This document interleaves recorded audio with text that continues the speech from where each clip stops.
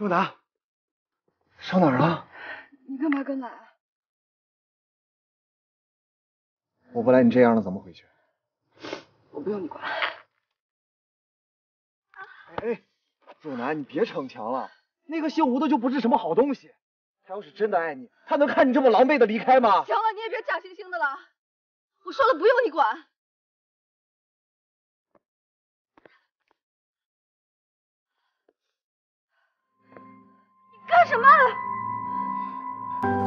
不想看你受委屈。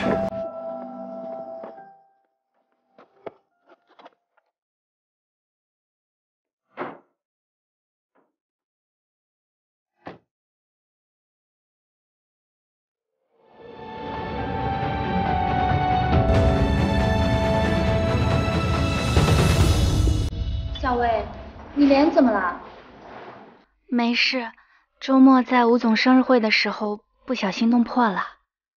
听说段若楠也去了，不会是他又欺负你了吧？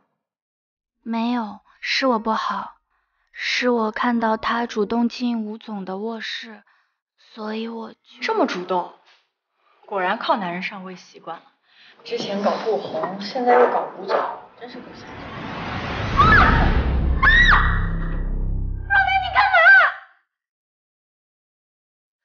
樊小薇，我昨天就警告过你，如果再让我听到你胡说八道，我就毁了你这张脸。不好意思，今天顺手拿了杯冷水，但我保证下次它一定是滚烫的水。都在胡闹些什么？我跟若楠之间的事情，一直都是我在追求她。小薇，周末的时候我们已经聊得很清楚了，我希望以后不要再听到这样的谣言。都听到了吧？事实就是像吴总说的那样，没有什么我勾引男人的破事儿。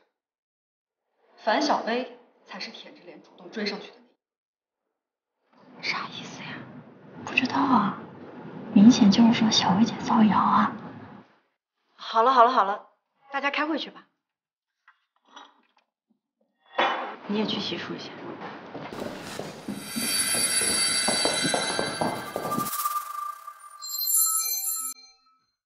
今年夏初品牌大促第一阶段完成的非常好，品牌方那边想临时加一个直播活动，除了贝佳主负责之外，还要再挑选一个直播环节的负责人。按照老规矩，各自做方案，有能者居之。又是做方案，意思？不想做方案也行啊，那你就给直播拉赞助，只要是能给活动增加曝光量，就都可以。啊，这不是更难吗？你有这个抱怨的时间，还不如多想想办法。我想问一下，拉赞助是指给直播活动招商吗？可以这么理解。对于我们来说，多拉一个品牌方进来，就降低了成本。对于品牌方来说，让两个不同领域的品牌在同一场活动中相互引流，就可以获得更多的曝光量，可以达到双赢。啊，但是要注意，一定不能是竞品。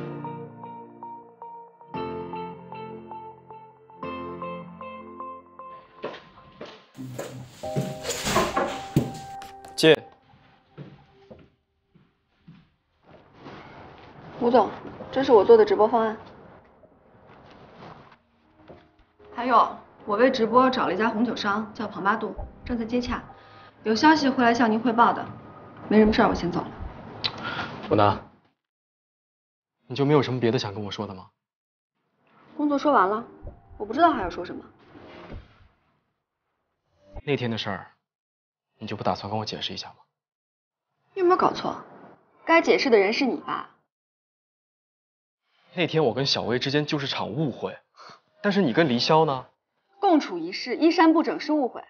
那我跟黎潇简直就是萍水相逢。好，那他为什么又要来接你？我懒得跟你解释，你爱信就信，不信拉倒。还有事儿吗？没事，我走了。若楠，是我的错，都是我的错，你就原谅我吧，好不好？你真诚点儿。好，既然要我真诚，我就把樊小薇开掉，可以吗？吴总这么公私不分的？你就原谅我嘛。行吧，放你一马。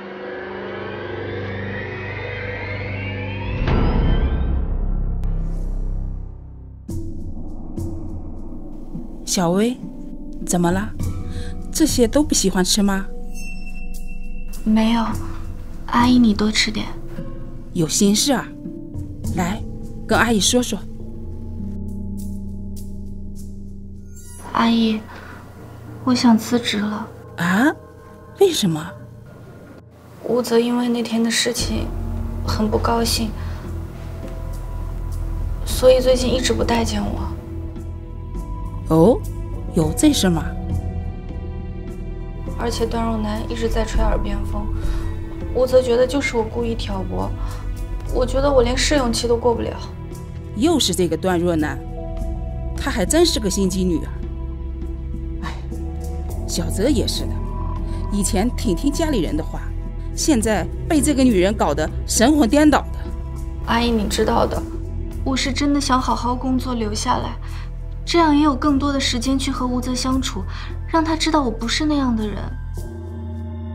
哎，我听说你爸妈的水云集团不是正在招广告代言吗？你可以找他们帮忙啊。阿姨，你知道的，我出来打拼就是不想靠家里，我不想和他们说。嗯，有志气。那有什么需要，阿姨帮你。阿姨。你认识庞巴度红酒的负责人吗？还真巧了，他们的李总是我的好朋友。回头我给你打个招呼。真的？那太好了，谢谢阿姨。哎呀，不用谢，阿姨好久都没有遇见这么投眼缘的女孩子了。你呀，以后就做我们吴家的儿媳妇儿吧。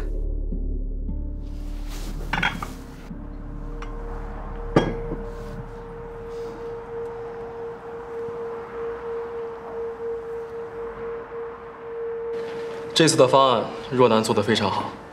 如果大家没有什么异议，直播活动的负责人就是吴总，我申请成为直播负责人。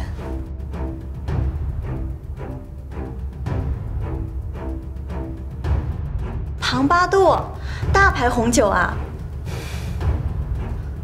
经过我的努力，庞八度品牌已经同意入驻我们夏初大促直播活动，而且愿意用最低价给我们新产品。原来是你！我说我怎么跟庞巴度聊得好好的，对方突然没消息了？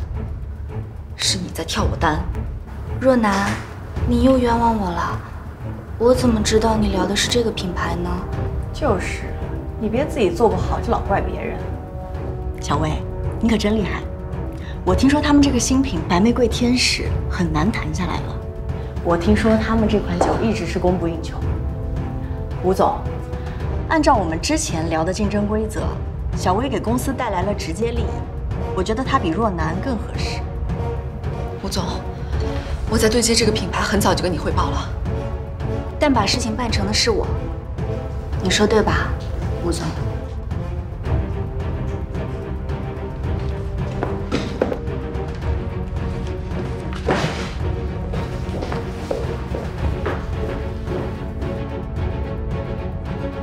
若楠，若楠，你听我说，还有什么好说的？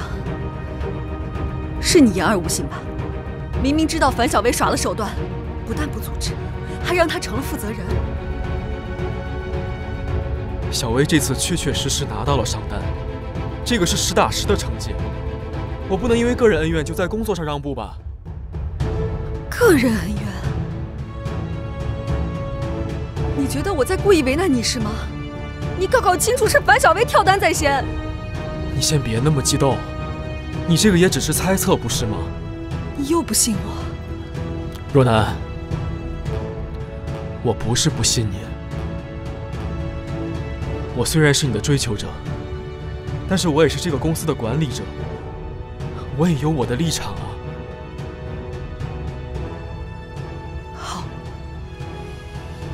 你有你的立场，那我也有我的。不肯帮我是吧？